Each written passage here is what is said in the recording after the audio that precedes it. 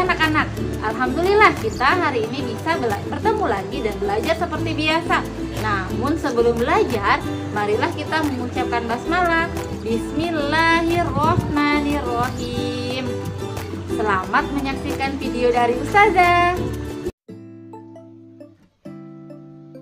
Pelajaran Bahasa Indonesia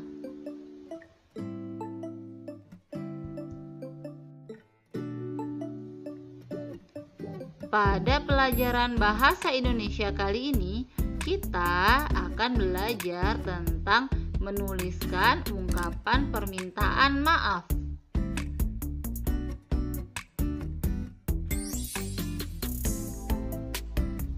Allah berfirman dalam surah An-Nur ayat 22 dan janganlah orang-orang yang memiliki kelebihan dan kelapangan di antara kalian bersumpah bahwa mereka tidak akan memberi bantuan kepada kaum kerabatnya, orang-orang miskin dan orang-orang yang berhijrah di jalan Allah dan hendaknya mereka memberi maaf dan berlapang dada.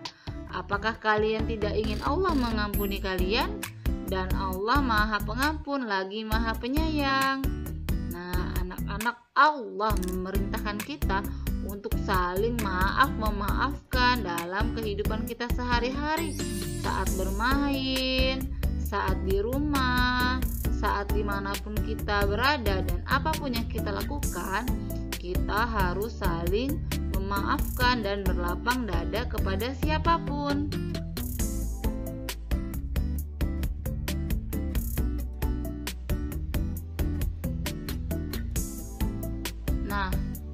Adalah contoh kasusnya. Ibu guru mencontohkan gerakan tanaman. Gerakan ibu guru terlihat sangat luas. Gerakan anak-anak banyak yang lucu. Ini pengalaman mereka pertama kali menari gerakan tumbuhan. Mereka memperagakan gerakan pohon kelapa yang tertiup angin. Udin tidak sengaja menyenggol bahu Edo. Udin berkata, Maaf Edo, saya tidak sengaja. Edo tersenyum lalu berkata, Tidak apa-apa Udin. Edo dan Udin kembali mencoba gerakan pohon kelapa. Nah, anak-anak, dalam kehidupan kita sehari-hari tentunya banyak sekali hal-hal yang bisa membuat kita harus meminta maaf atau memaafkan orang lain.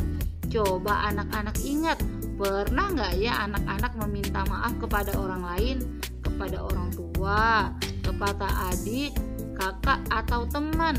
Pernah tidak? Kalau pernah, kira-kira kenapa ya anak-anak harus meminta maaf?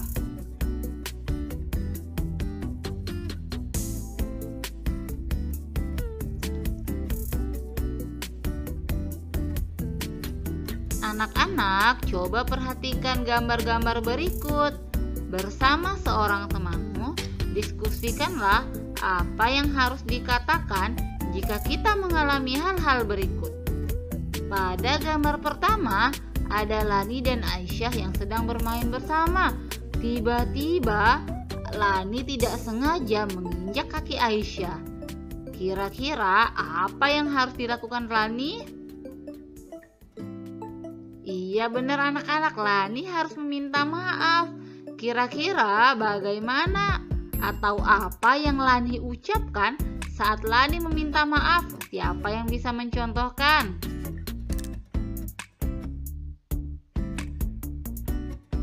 Masya Allah banyak yang benar.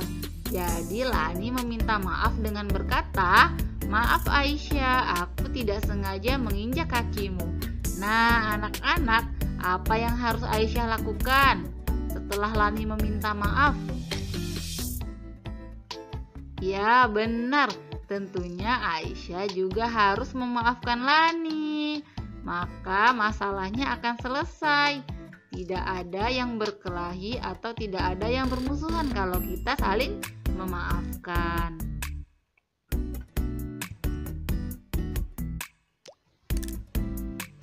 Nah, pada gambar selanjutnya ada Udin sama ada Aisyah. Udin tidak sengaja menyenggol Aisyah yang sedang membawa buku sehingga buku Aisyah semuanya pada berjatuhan. Apa yang harus dikatakan Udin?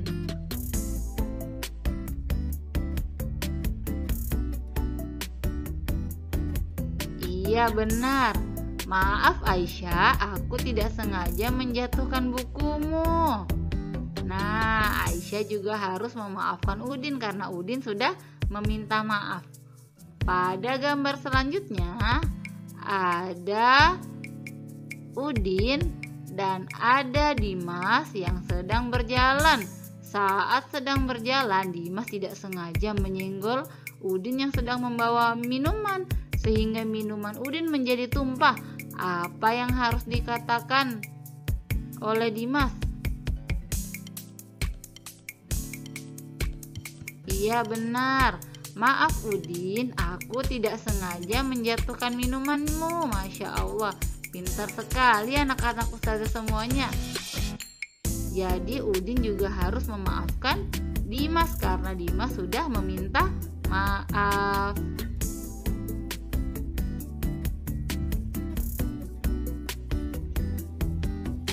Orang yang meminta maaf dapat terlepas dari rasa bersalah Memaafkan juga dapat menyelesaikan permasalahan. Kita harus minta maaf jika kita bersalah.